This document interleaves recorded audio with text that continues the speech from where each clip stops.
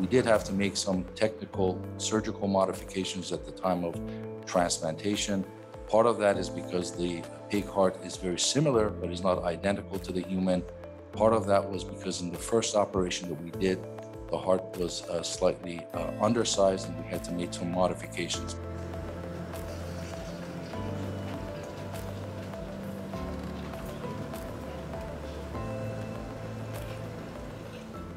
From the very beginning, our goal was to be able to uh, create a model where we actually uh, mimicked what is now done clinically in human transplantation without utilizing unapproved devices or techniques or medications.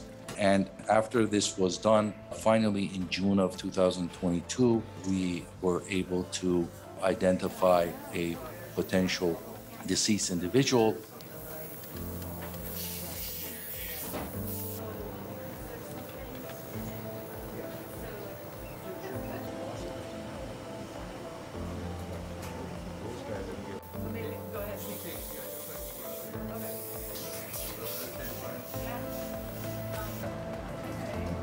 I tell you, we, we learned a lot. This was a 72 hour study. And despite the fact that it was a tremendous success, and we learned a lot, especially from the first to the second procedure that was performed in order how to perfect some of the technical aspects of the operation.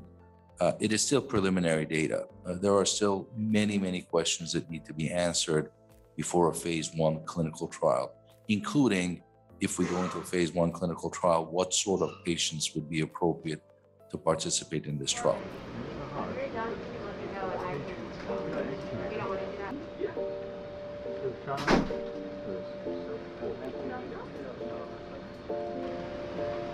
The barn?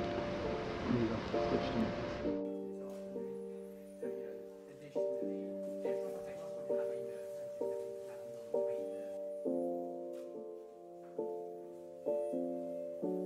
So there are 6 million individuals with heart failure in the United States. Um, About 100,000 of those individuals have end-stage heart failure.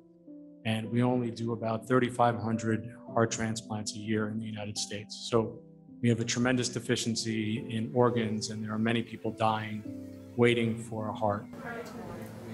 we're excited, just like everybody else is, that finally um, there's some forward movement in this field. Um, and I think we're going to see clinical trials even sooner, maybe, than we thought.